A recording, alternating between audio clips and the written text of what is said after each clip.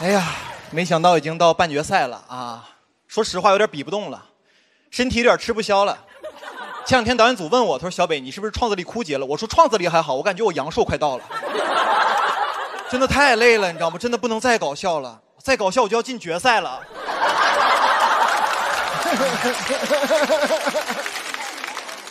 我今天最后再给你们嘱咐几句吧，然后一会儿你们笑的时候就大声点啊！我想风风光光的走。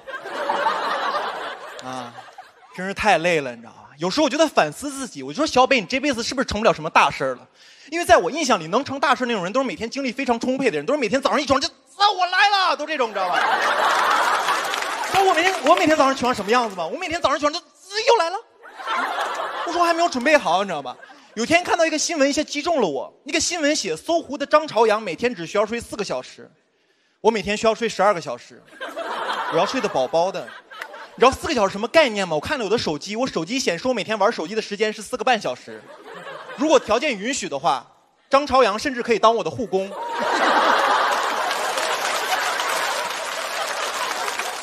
照顾我的饮食起居，你知道，我都能想象那个画面，你知道，我我躺在床上，我说小张啊，我一会准备玩会儿手机，啊，你就一会儿把今天的觉睡了吧。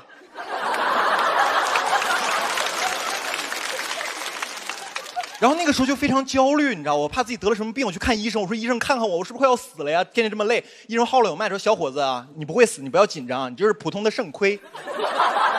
我说大夫，我还不如死了算了呢。但是我是个很乐观的人，突然就想象到想到了一个我特别适合做的职业，你知道，我觉得我特别适合做 idol。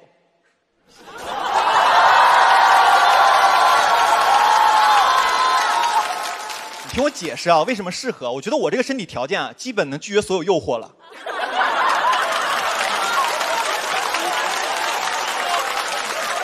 我都能想象到，夏天我在大街上走，突然有一个漂亮的女粉丝过来说：“哥哥，我们谈恋爱吧。”我说：“哥哥呀，没有这个精力。”哥哥比起爱你来说呢，更爱活着。啊，不说了，哥哥走了，拜拜。好了，别追了。哥哥跑不动了，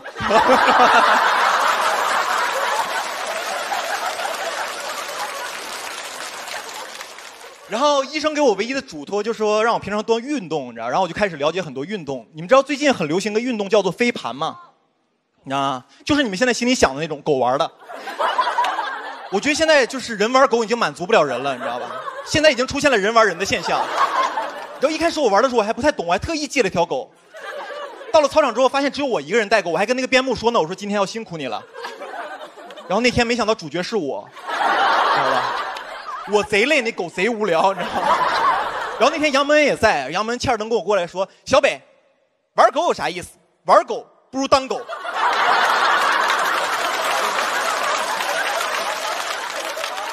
说完之后，杨门追着飞盘就出去了，你知道吧？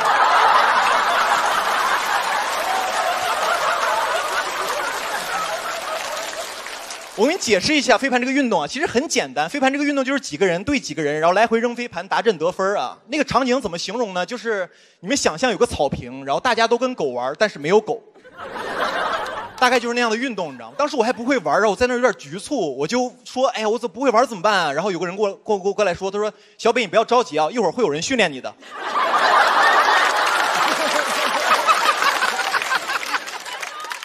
结果真的就来了个教练，你知道吧？然后他拿着一摞飞盘，我们排成一个队，然后教练拿着飞盘说跑，然后你知道吗？我当时还笑话呢，我说这也太可笑了。到我这儿，我唰一下就出去了，你知道吧？当时那飞盘飞得有点高，我脑海中出现三个字：用嘴叼。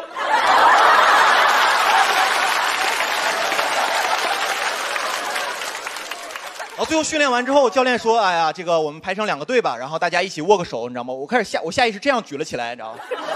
我当时就特别怕那个教练突然说坐，我心想教练你不会叫我巴甫洛夫吧？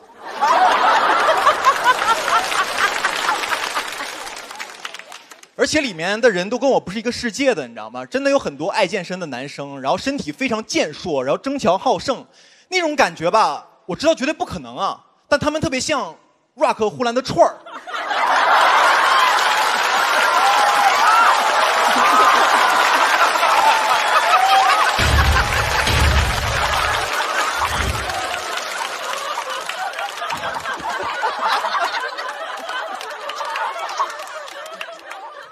我刚写出来跟你们笑的一样开心。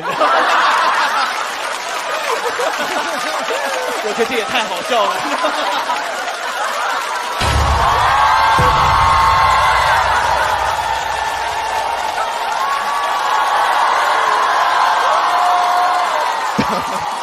没想到，没想到啊！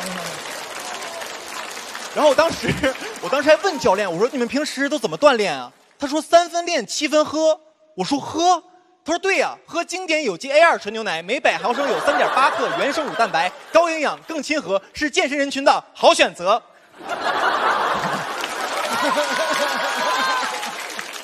然后当时我就说，我那三分练是啥呀？他说，然后教练掏出了一瓶经典有机奶，他说小北看见了吗？我说看见了。他说跑，然后我就好，谢谢大家观众，谢谢。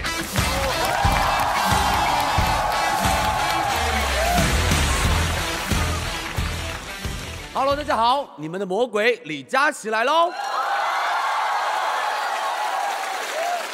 就像刚刚邵刚老师说的，我每次会带口红，这是真的。今天我来吐槽大会，我也带了一支口红，但是这一支口红呢，是要现场涂给邵刚老师，你觉得可不可以？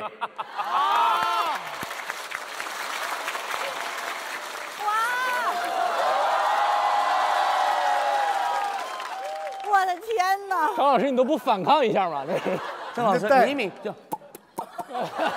唐某，我凭什么要反抗？人家是带货一哥，被带货一哥涂过，我骄傲。这支色号叫做沉默少刚五零二，这支口红的粘性特别特别的好，用完以后肯定可以粘住你的嘴。如果呢，你们身边有像邵刚老师这样的朋友，我跟你们说，买它。好，我直播的时候呢，非常喜欢的 Q 明星，比如说这支颜色是欧阳娜娜的颜色，这支颜色我要推荐给刘雯。其实这个我都是跟吴昕学的，你们知道为什么吗？因为欣姐每天在家里照镜子，她都会说。啊，这个女孩我会推荐给陈伟霆或者杨洋或者潘玮柏都可以啊。这个女孩完全不挑人的哦，娶她。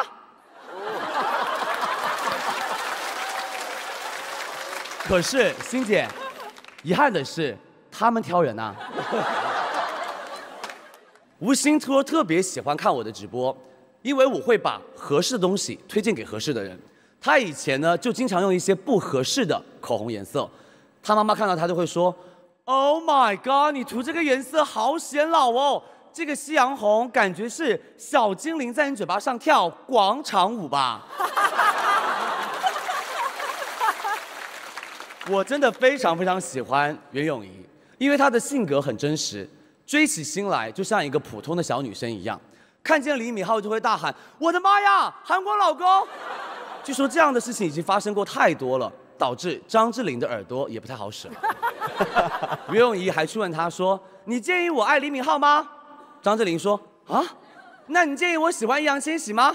啊，那我去买包喽，不要去。”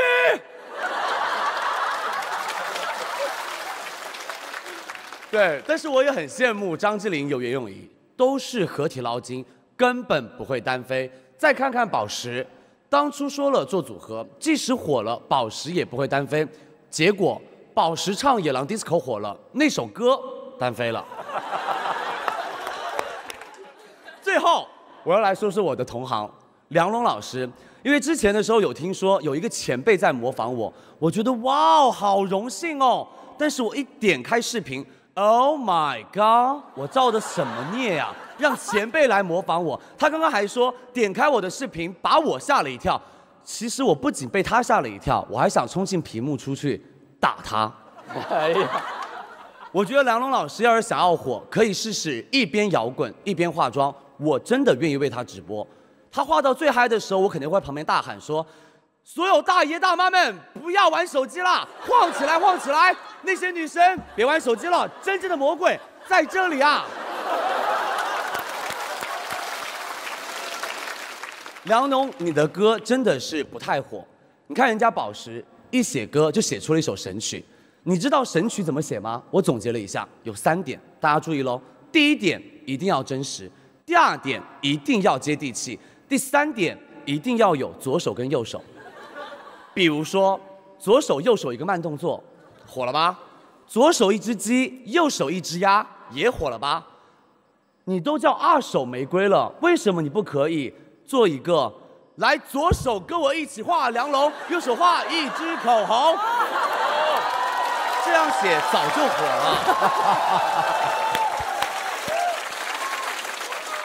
有很多人讨论我是不是带货第一人，其实我真的不在乎，我在乎的是粉丝是不是因为李佳琦的推荐少踩了梁龙脸上那么大的坑，少花了二手玫瑰门票那么多的冤枉钱，少上了无心买保养品那么多的当。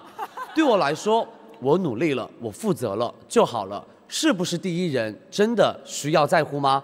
吴昕当年也在乎自己是不是快本一姐，十年过去了，在乎有用吗？我觉得在乎真的有用。前段时间我直播卖不粘锅，不粘锅当时就粘锅了，场面一度的尴尬，导致很多人怀疑是锅的问题。其实那款锅我们在直播之前已经使用过五个多月，反复测试过，锅没有问题。直播当天的新锅确实是没有按照说明书开锅导致的。在此呢，向大家声明，这个锅不是锅的锅，是我的锅，我让这个锅背锅了，大锅，对不起。以后我一定更加努力，以最真的方式推荐产品，好就是好，坏就是坏，粘就是粘。即使粘锅，我也要把它表现出来。万一有人想买粘锅呢？很多人觉得我莫名其妙就成功了，其实我真的默默无闻的做了三年直播。那个时候我一样很努力，有些人也想做主播，但是做了一个月没有赚到钱就放弃了。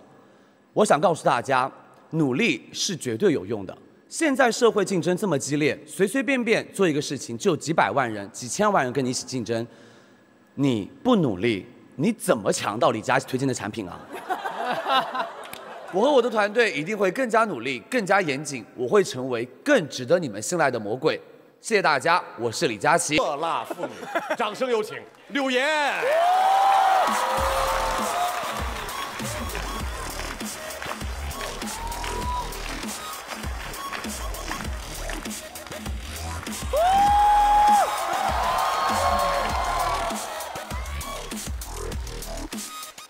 好了，定点站好了。大家好，我是柳岩。呃，首先要感谢有一些人，一部分人啊，给予我这个女神的标签。可能大家一看到这个词“女神”嘛，总是会觉得高高在上，难免会端着嘛。我不一样，真的，我特别的直爽。哦，什么我都不爱藏着掖着的。当然了，有些东西想藏也是藏不住的。哎呀呀，哎呀呀！其实“女神”这个称呼也是网络上的网友加给我的啊，大家捧我为宅男女神，不是我自己硬要把这个头衔标签给扣到我脑袋上的。你们真的以为我很喜欢这个标签吗？你们真的觉得我很 enjoy 这种 title 吗？其实还可以。做女神不是光靠身材就可以的，女神是要拼的。这些年我真的没少拼，我拼了命的捆绑炒作。我容易吗？我我跟大鹏捆绑炒作。你们以为我愿意跟大鹏来炒 CP 吗？观众朋友们，我愿意呀，因为大鹏红嘛。当然了，其实我一直也想跟一个帅哥炒 CP，但是人家帅哥不愿意，人家也是有操守的，关键是人家有粉丝。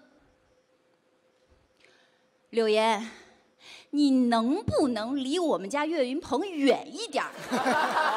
你就只配跟大鹏在一起。大家感受到了，谐星之间的竞争还是蛮激烈的。我被大家说的最多的，呃，就是说我借身材上位。大家听一听，借身材上位，我管谁借了呀？我管你借了吗？其实我自己挺大方的，我愿意把我身材借给别人，让他能够成功上位。你们且看着，如果我身材借给他了，他能不能上位？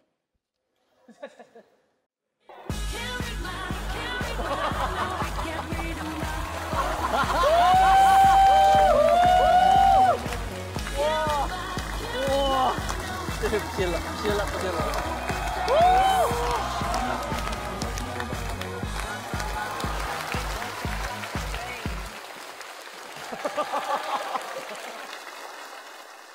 大家觉得张绍刚老师有了这么好的身材，能成功上位吗？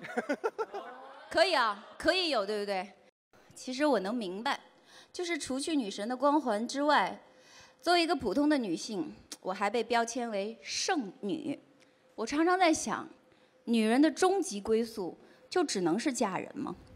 如果不嫁人，就证明你的人生失败吗？我有点不服。我们每个女人都应该有权利决定我们自己的人生，不由他人来评说。妥协退让不会让自己活得平静，真正的平静来源于尊重你自己。做不到让别人闭嘴，就做到让自己开心吧。我是柳岩，谢谢大家。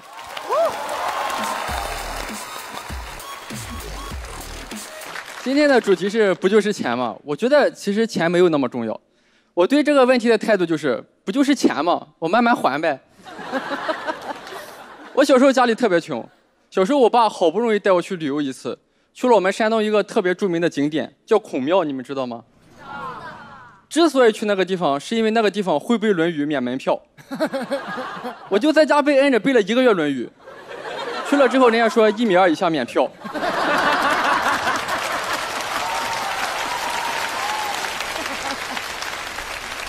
我当时觉得血亏，我说爸，咱都省了这门票钱了，你给我买点好吃的呗。我爸说不能吃太好，吃太好长高了，别处就不免票了。当然，我爸还是爱我的。我被狗咬了，我爸赶紧去带我打那个狂犬疫苗。医生说这个针啊挺贵，一千块钱一针。我爸说没事打。医生说要打四针。我爸说那他有多大概率得不上狂犬病啊？所以打小我就清晰的知道自己的身价在一千到四千之间。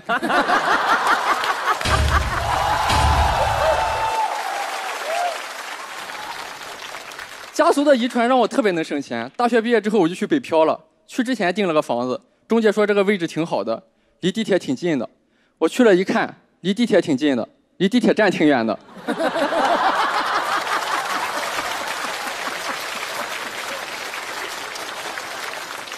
而且那个厨房也漏水，做什么菜都有汤。最最受不了的是，那个隔音真的太差了。有时候我对象矫情，非得听个睡前故事，我好不容易讲故事哄他睡着了，就听见隔壁大哥问：“然后呢好笑，好笑。？” 省钱嘛，其实很容易的，能吃苦就行了。但是挣钱太难了。那个时候我还是机械工程师，有一次由于我的图纸错误，公司损失了大约四万块钱，但是我们公司还挺好的，也没有开除我，先让我把钱还上。后来听说因为我出色的犯错隐蔽能力，我们领导想推荐我到对手厂子里工作。哇，那一刻我才清晰的知道，垃圾就是放错了位置的资源。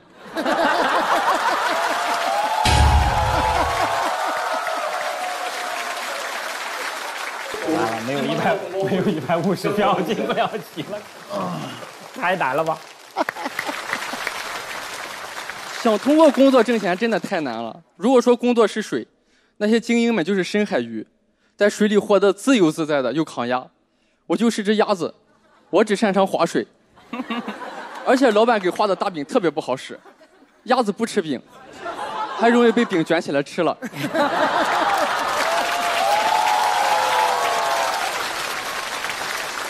我和我对象干过最挣钱的事就是结婚，毕竟能挣好多份子钱。我其实以为我这种人是没什么朋友的，直到结婚的时候，突然想起来了好多。而且我亲戚特别多，我有七个爷爷六个姥爷。被狗咬那一次，我十几个表哥去那个胡同口堵那条狗给我报仇。那年我九岁，我大哥四十五。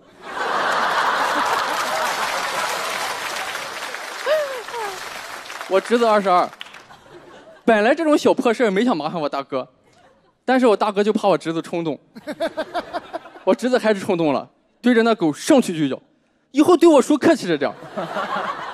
然后呢，那个狗一回头，十几个表哥就开始四散而逃。九岁的我根本不可能跑过那个狗，但是幸好还能跑过我大哥。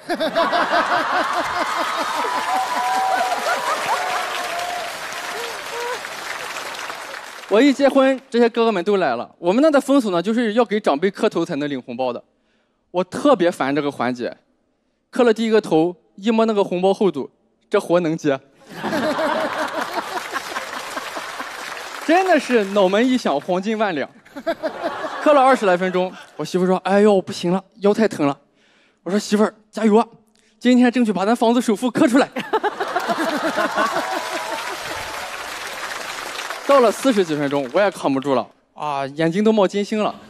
这个时候脑子里就想起了高考时候好多励志的标语，我就给我媳妇儿打气，我说：“媳妇儿，买房这个事儿就是千军万马过独木桥，咱们停下了，可咱们的对手还在磕。这个时候了，一定要卯上劲，只要磕不死，就往死里磕。”现在和我的朋友们聊起来，说我们家那个房子。都是我们俩一个头一个头磕出来的，他们就说啊，你们俩以前是乞丐吗？谢谢大家，我是孟川。哦，谢谢孟川，喜欢孟川的朋友不要忘了投票，还有最后三秒钟，三，这场就不可能有人低于一百三，我发现。对，一百三起不可能。一，请锁票。啊，掌声再次送给孟川，非常非常精彩。呃，笑笑坏我了。但罗老师这次没有以大局为重哈。没有啊，就他脚本太强了写的，所以我开始就该拍的时候，我还沉浸在对他的脚本的那种学习上，对，学习喜爱之中。是是是。对，我是最后才拍的嘛，因为我怕罗老师万一把他判定为三登选手，我想我就可以在后面再拍。这是更大的大局观，这是更大的大局观。是。苏红哥哥是哪个点打动了你啊？我觉得他就是很稳，然后状态也很对，所以就是他一切都还挺打动我的。对，嗯。哦，啊，孟川觉得他真诚吗？挺好的，挺好的。这能取消不？可以可以，我觉得他就是节奏呀，包括确实他的那个本子很强。有些人本子很强，但是表演能力差一点嗯，但是他是一切都还挺好的。嗯，孟川，你是每个本子都挺强的，还是你这是一个厚积薄发呀？就是压力太大了，我要是表现不好，我就得回家带孩子。没事有我们这个蓝河绵羊奶粉，好不好？带孩子还是可以的啊。蓝河绵羊奶，好羊奶选蓝河。能能能再给一罐吗？没没没问题。我想我想请问一下，就是如果不结婚的话，磕头有钱吗？有钱有钱，也也是有的哦。不是，得是认识的磕头。哦，对呀啊。你不能说一进到山东境内就开始就就就走上了一个致富的道路，是吧？一头一头的。不是得认识，那行，那我把山东那机票先取消了吧。好，孟川的表演也非常精彩啊！我们来看一下孟川最后的得票情况。其实还挺忐忑的，因为我知道我后边的选手有多强。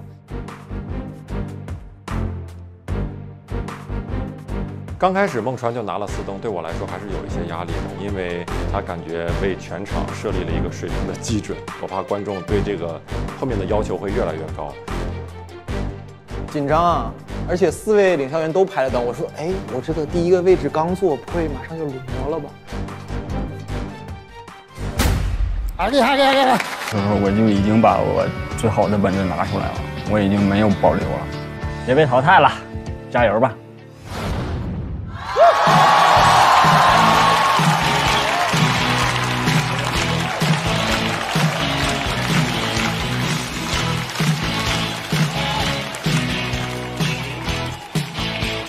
你们好，我是秋瑞。我感觉这几年大家过得都不是很好，是吧？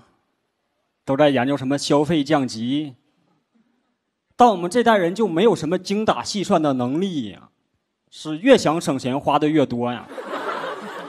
你们在直播间买过东西的人都知道，里边东西是真便宜，但也真是用不着啊。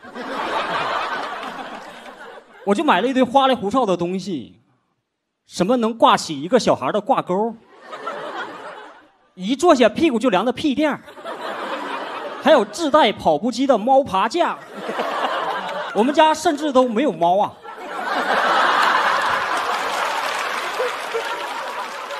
现在我家那条狗在玩猫爬架。等我冷静下来，我就生气。我说我为啥要买这个挂小孩的挂钩啊？我总不能朋友来我家做客啊。我说哟，带孩子来的，来吧，挂墙上吧。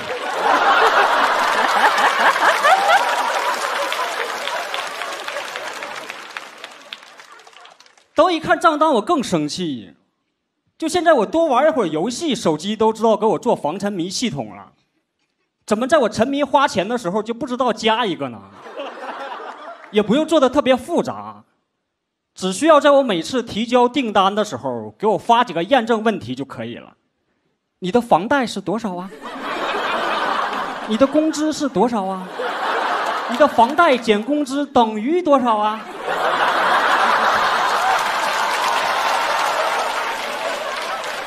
那你现在还想喝这杯芋泥波波冰吗？我以为我花钱已经够大手大脚的了，直到我看到我妹妹给她男朋友买了一双一万多的拖鞋，那个价格真的超出我的认知了。我说咋的呀？是穿上你这双鞋能增加移动速度吗？王者里一双真正能增加移动速度的鞋只卖五百三呐，那是一个杀人都合法的地儿，鞋都不敢卖这么贵呀。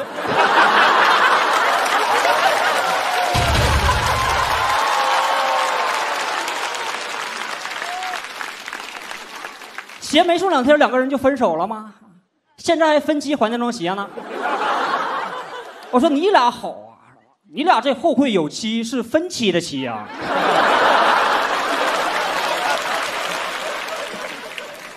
我就觉得没必要这么花钱，反正我不知道你们，我的拖鞋就是在拼夕夕买的，三块九还带防滑。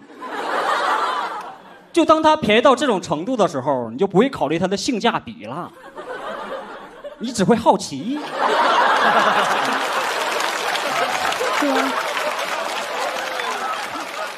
就这玩意儿到底能偷工减料到什么程度？三块九能不能给我寄过来一双左脚？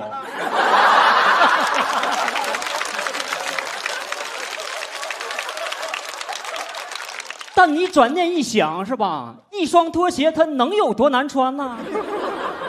拼夕夕给了我答案。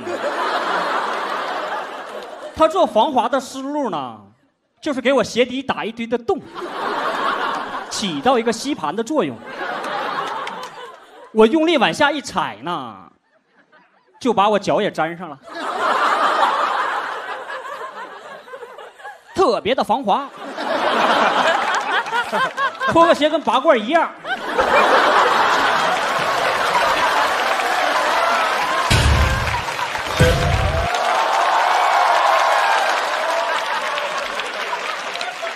那个卖家还说呢，有了这双拖鞋，你再也不用担心在浴室滑倒了。我就觉得有点过于防滑了。有一天我真摔倒了，鞋还在脚上。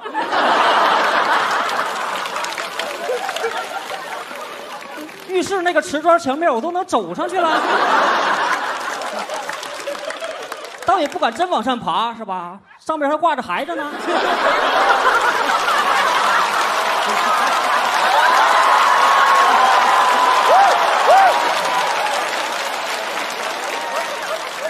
互联网聪明的地方就在于啊，我买了这双三块九的拖鞋呀，我就再也刷不到贵的东西了，全是一堆破烂给我推那种六块九的泳裤，颜色都不让我选，随机发，我有罪呀！我都二十七了，一想到自己有概率穿上一条粉色的泳裤，还是羞愧的不想下水呀、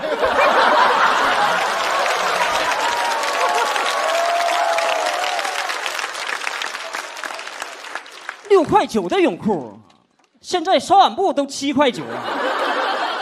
刷碗布才多大一块料啊？我都想问那个卖家，我说你这个泳裤会不会有点太暴露了呀？卖家说咱都是正常尺寸，能暴露啥呀？我说暴露了我的贫穷。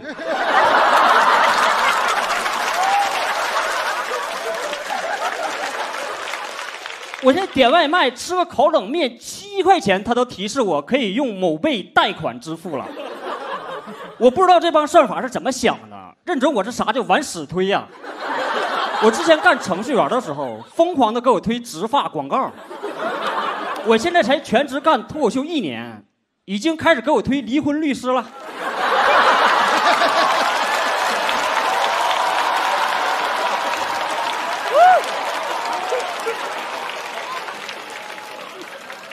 我感觉我这后半辈子被这个算法推荐算的明明白白的，我以后人生肯定是有一场大劫，家破人亡，只能靠贷款点烤冷面为生。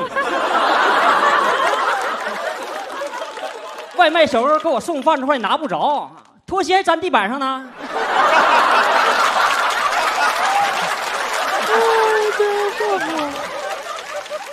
我悲剧的人生已经确定了，是吧？但也没事儿啊，咱泳裤颜色是随机的呀。谢谢们，谢谢你们。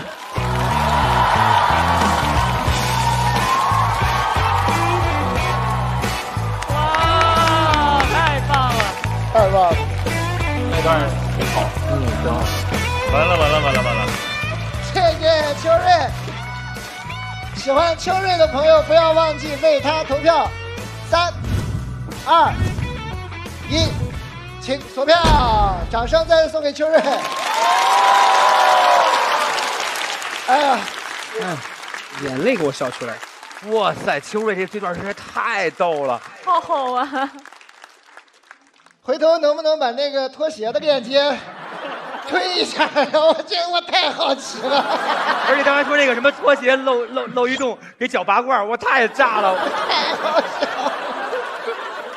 我发现秋瑞的段子是非常有画面感的。对对，那个之前四十五度那个就很有画面感，然后那个踩到的这个吸盘太搞笑了。但那个拖鞋我在那个洗澡那个浴室里真穿过，很疼，吸的很疼，所以特别有共鸣。我感觉脚底板开始疼了，你知道吗？你会看直播买这些乱七八糟的？我现在老公，这是好事儿啊！啊，他为啥选择我呢？因为他是个外国人，审美有毛病。真的，有一次他就跟我说：“说亲爱的，你真美。”然后我就翻出了刘亦菲的照片我问他：“那他呢？”我老公说：“一般吧，太白了。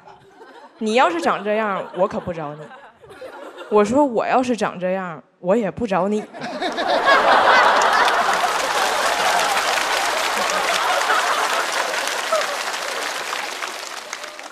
我比刘亦菲好看这个事儿上铁岭热搜了，很多人听说他的这个事儿都来嘲笑他的眼光，但是我老公无比坚定地说：“你们不要嘲笑我，我没有错，我只是不一样。”后来我们发现，他不光审美，他啥事儿都不一样。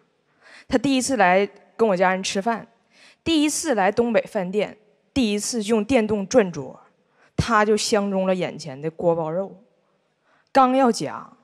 桌子转起来，锅包肉走了。我看他眉头一皱，我以为他能等这锅包肉再转回来，没想到他拎起他的盘子，跟桌就跑了。我妈以为他要来敬酒呢，他看我妈站起来，以为我妈要跟他一起追。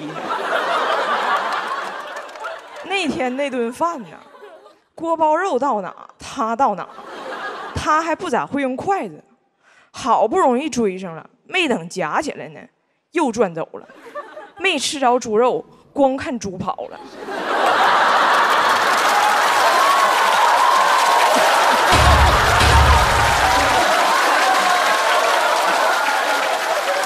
他他讲故事的能力真的很强。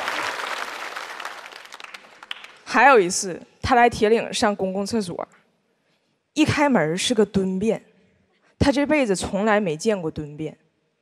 进去之后，他迷路了，向我发出了视频邀请。我以为他最多是分不清朝前还是朝后，我没有想到他最后的选择居然是朝右。操你以为我会纠正他吗？不，我没有那么爱他。然后他就问我，接下来我怎么办？我说接下来你蹲下去。他说我不会蹲。我当时不知道外国人不会蹲这个事儿，我说蹲着还能不会呢？双腿弯曲，重心下沉到极致。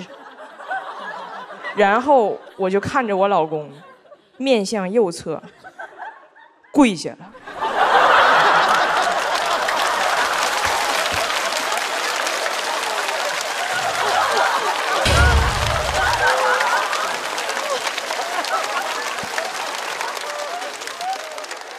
我说你上个厕所咋整这么虔诚呢？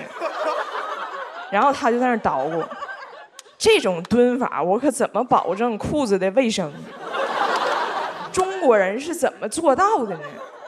想来想去，他把所有衣服都脱了。你们想象一下这个情景啊，一个二百多斤的大白胖子，累得满头是汗。衣服全挂门上了，这门呢还没有锁。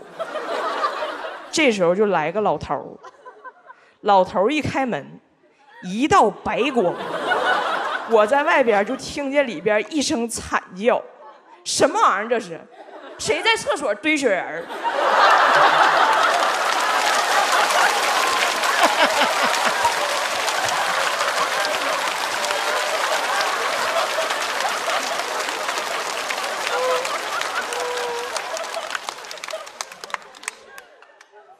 老头出来，我赶紧给人跟您道歉。我说：“大爷，对不起，雪人是我对象。”老头说：“啊，那差不多，赶紧结婚吧，再等雪儿该化了。”后来有一次，我还跟几个来过中国的外国人吐槽我老公这事儿。我说：“你们敢相信吗？他居然把所有衣服都脱了，挂门上了。”他们说：“不然呢？你们脱了是放纸篓里吗？”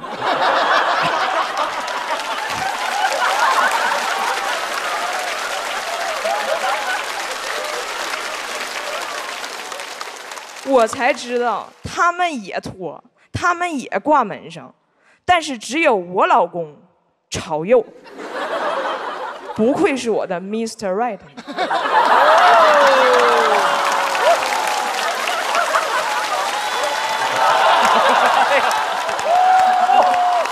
哇，这人票比谁高？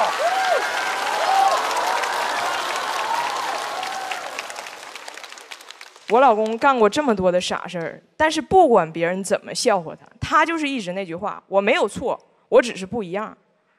这个精神教会了我自信，教会了我怎么面对人生的尴尬，这个太重要了。所以现在我对我老公那可真是，捧在手里怕碎了，放在厕所怕化了。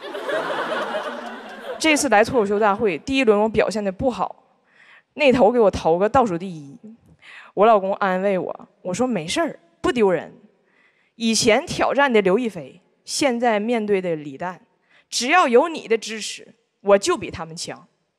我老公说，对，刘亦菲就是不如你，但是实话实说，李诞确实是比你好看。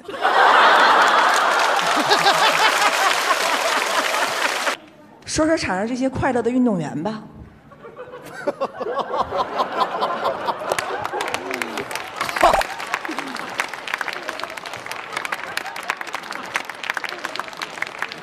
我一直搞不懂这个群体。范志毅的前妻是空姐，周琦的老婆也是空姐。你们打球的怎么都喜欢找空姐啊？你们是上了飞机就想谈恋爱吗？这问题我去。空姐说：“先生，小桌板收一下。”郭艾伦说：“Yes, I do。”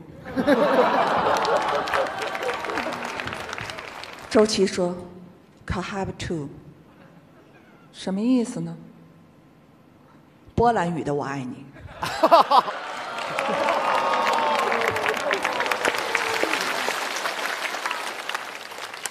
范志毅说：“中国男篮脸都不要了。幸亏我没找，要不一锅端了。”都说郭艾伦是靠他叔叔在篮球圈上位的。郭艾伦，我看你也挺喜欢上综艺的，要不要在这里认个输呢？叫一句李叔，就能拿个吐槽大会的冠军。李叔难道不比你输好吗？世界杯你们都敢输，还怕这个输吗？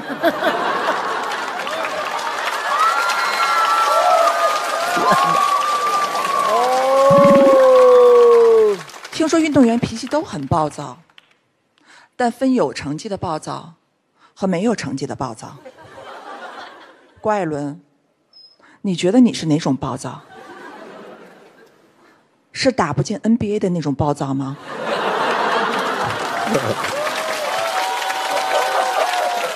听说你擅长三步上篮，是一步传球，二步冷静，三步上篮吗？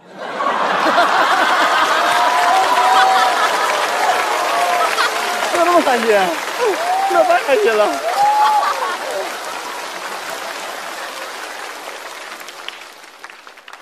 范志毅，我对他没有任何问题，因为我怕他打我。今天来了好多年轻的男篮运动员，你们怎么那么爱上综艺呢？为什么范志毅年轻的时候不上综艺呢？是因为训练耽误他上综艺了吗？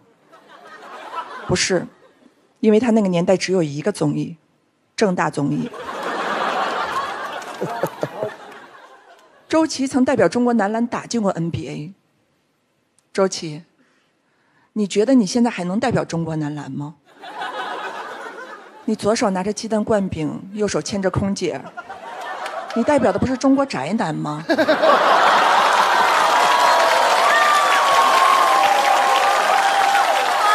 天哪！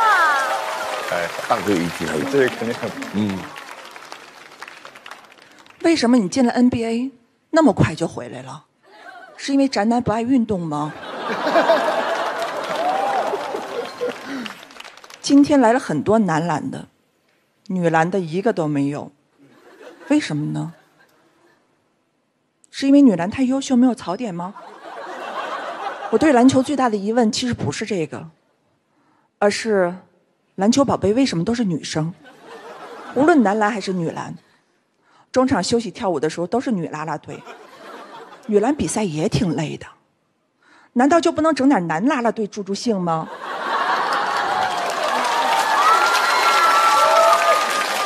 好棒啊！助助兴还行。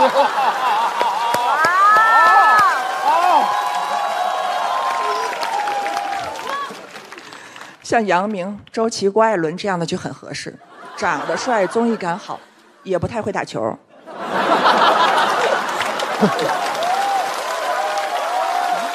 太狠了，太狠了。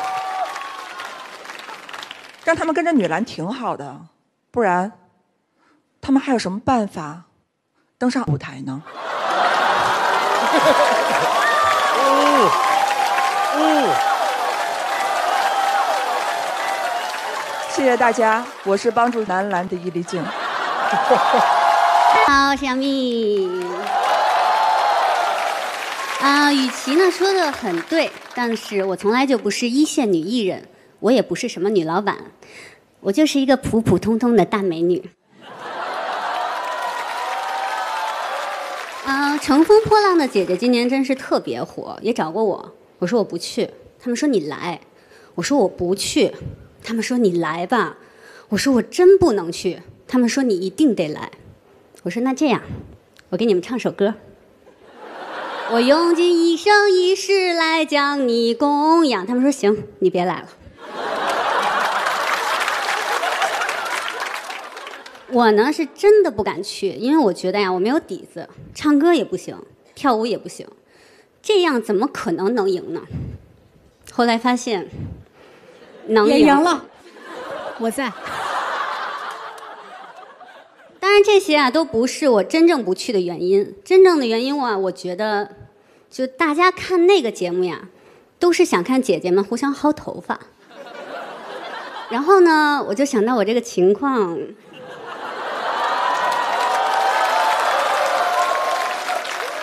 我想我这个发际线也坚持不了几期吧。所以你看人家雨琦啊，现在人越来越火，身材越来越好。就是脑门好像有点越来越亮哈，没使劲薅，没使劲没薅，没薅，没薅，没薅，肯定没薅。反正咱们正片里没看见。所以啊，其实演艺圈没有大家想象的那么复杂，我们就是简单的勾心斗角，没有啦，不是。那我们都是好朋友，就是一份简单的工作，大家各干各的。有些人呢想挑事儿，就说你看迪丽热巴那么火。你担不担心？我说这有什么好担心的呀？他是我们家的艺人，他好，公司更好。这个问题呢，就相当于你问李诞，你说王冕现在这么火，你担不担心比自己火？他担心吗？他担心。刚才在后台我碰见李诞了，我说最近忙啥呢？他说：“哎呀姐，别提了，学吉他呢。”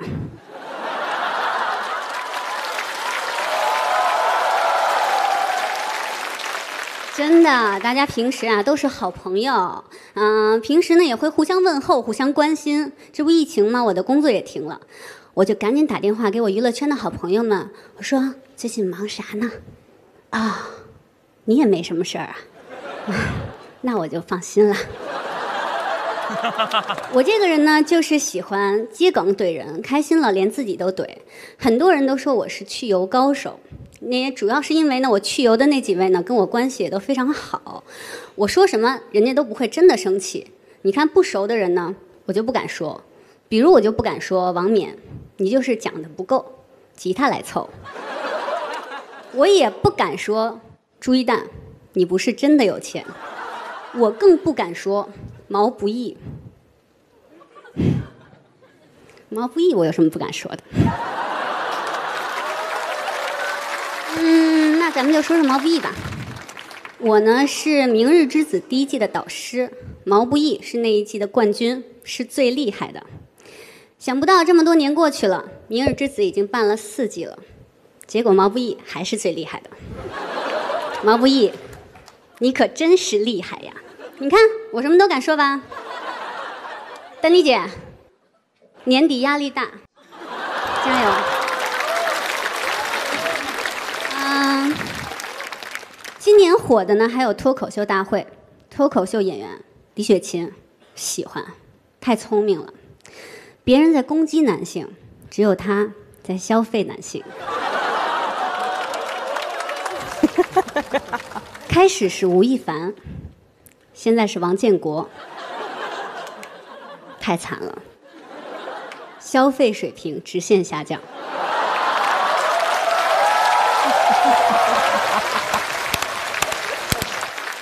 你看，我们杨丽在这方面就有点吃亏了。我觉得大家误会了她攻击男性的初衷。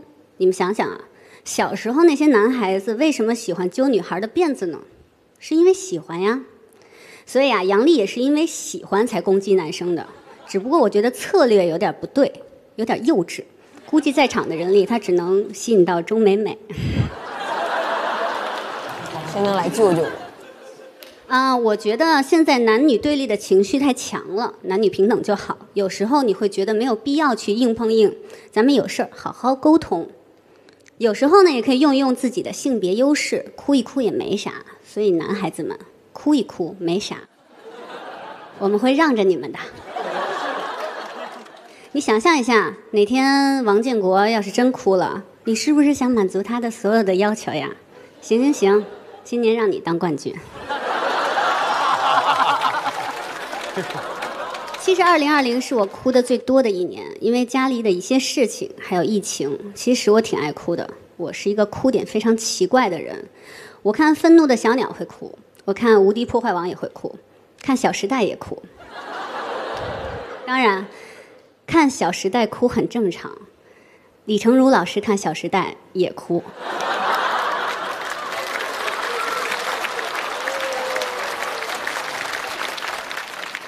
其实呢，除了难过以外，更多的时候我是觉得感动，大家很燃，很热血。原来大家可以这么团结。二零二零就像一场很艰难的游戏，有人负责冲锋陷阵，有人负责辅助补血，有人只是默默无闻的小兵。但是最终我们都会取得胜利的，稳住，我们能赢。谢谢大家，我是杨幂。